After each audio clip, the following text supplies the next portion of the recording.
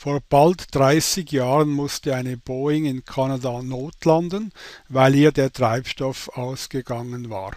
Ursache war ein Missverständnis beim Betanken des Flugzeuges. Die Geschichte ist bekannt und in Wikipedia auch beschrieben.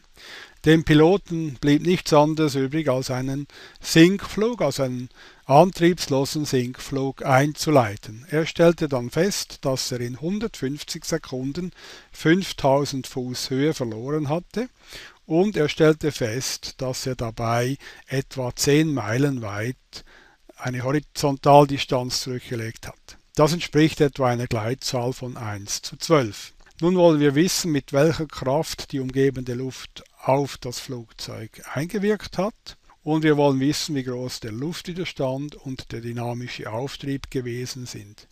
Zudem soll berechnet werden, welche Leistung das Flugzeug dabei dissipiert hat und die Frage soll beantwortet werden, woher kam diese Energie. In einem ersten Schritt zeichnen wir die Flugbahn. Das ist eine Gerade, die ein bisschen geneigt ist. Der Neigungswinkel ist dann eben der Arcus tangens von 1 durch etwa 12 und das gibt einen Winkel von 4,7 Grad.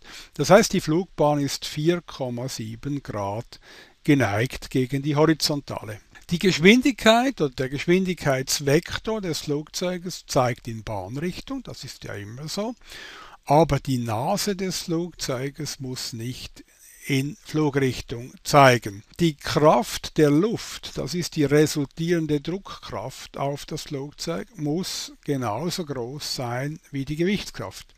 Denn obwohl sich das Flugzeug bewegt, ist das eine Gleichgewichtssituation. Es soll ja keine Beschleunigung stattfinden.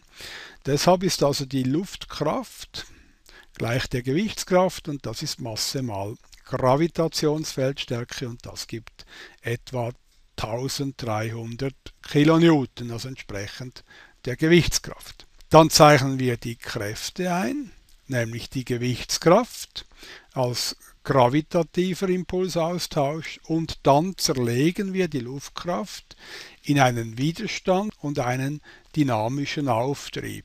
Wobei die Zerlegung nach der Geschwindigkeit erfolgt. Oder etwas genauer gesagt, die Luftkraft wird entsprechend der Anströmung in zwei Komponenten zerlegt. Die Parallelkomponente zur Anströmung nennt man Luftwiderstand und die Normalkomponente dazu nennt man dynamischen Auftrieb. Das ist also eigentlich eine Definitionssache. Ich habe letzte Woche meine alten Berufsschulhefte gefunden im Kasten und dabei habe ich gesehen, wie wir damals solche Probleme behandelt haben. Wir haben eben die Kräfte gezeichnet, haben dem Lageplan gesagt. Und dann haben wir noch einen Kräfteplan gezeichnet.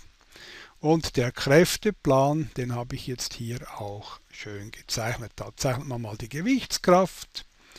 Dann überträgt man die Richtung der Auftriebskraft und überträgt die Richtung des Luftwiderstands in diesen Kräfteplan. Wobei man dann einen Maßstab wählt, also zum Beispiel die Gewichtskraft entspricht so und so vielen Millimeter.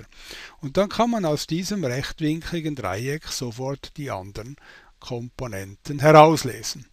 Nun, an einer Fachhochschule versteht man ein bisschen mehr von Trigonometrie. Deshalb kann man sagen, der Auftrieb ist der Luftwiderstand mal Cosinus von diesen 4,7 Grad. Das kann man hier direkt herauslesen, denn der Neigungswinkel, der erscheint ja auch im Kräfteplan und das gibt dann 1291 Kilonewton. Der Luftwiderstand ist dann die andere Komponente, da nimmt man den Sinus und bekommt dann 106 Kilonewton. Nun berechnen wir schnell die Geschwindigkeit des Flugzeuges. Die Geschwindigkeit ist Horizontalgeschwindigkeit im Quadrat plus Vertikalgeschwindigkeit im Quadrat und dann Wurzel draus. Das ist also der Pythagoras.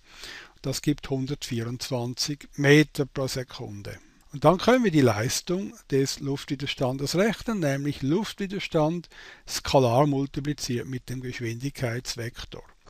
Weil die beiden Vektoren gegeneinander gerichtet sind, gibt das hier ein Minuszeichen und das Produkt der beiden Beträge gibt dann 13,1 Megawatt. Also 13,1 Megawatt sind während dieses Sinkfluges andauernd dissipiert worden. Woher kommt die Energie? Und die Energie kommt natürlich vom Gravitationsfeld.